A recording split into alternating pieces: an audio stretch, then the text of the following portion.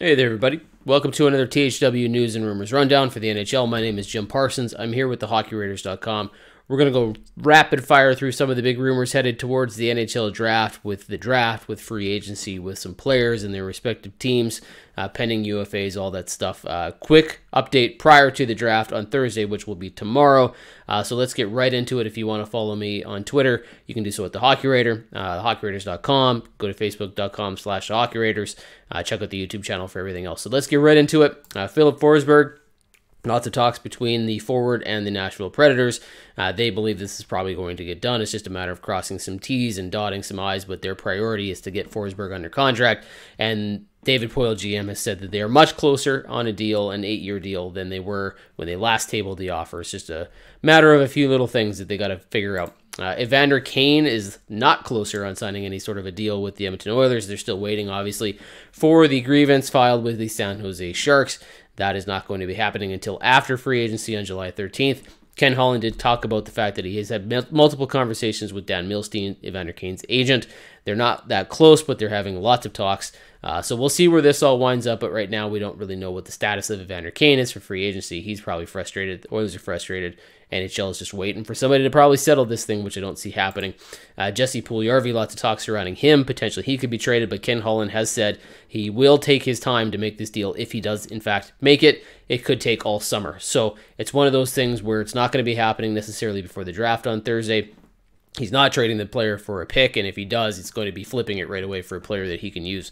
Uh, so there's talk about Puljujarvi potentially wanting out of Edmonton, and the Oilers uh, seeing him as only a fit on the third line, uh, but doesn't mean it's going to be traded right away before the draft.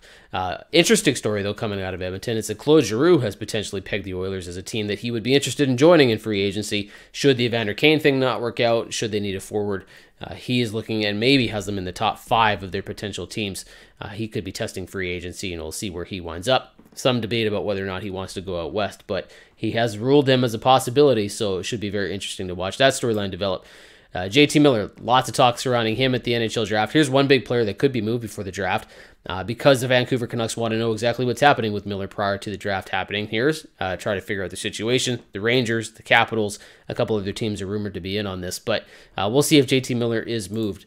Kris Letang, probably going to get done in Pittsburgh. GM Ron Hextall has said that he is close on that. He would be surprised if he didn't get that one done. As far as Evgeny Malkin goes, though, that one's not as close.